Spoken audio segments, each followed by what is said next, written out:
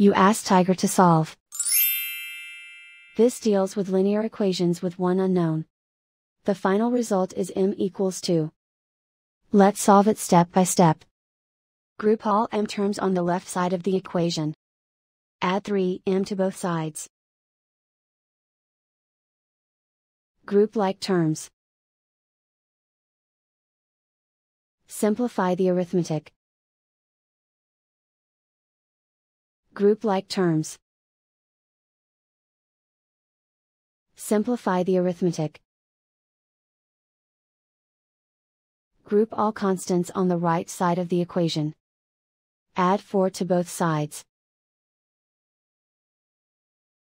Simplify the arithmetic.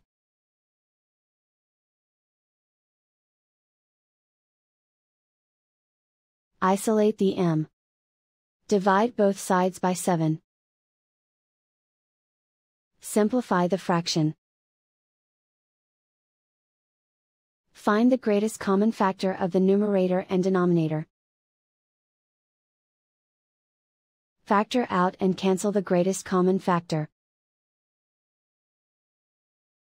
And so the final result is m equals 2.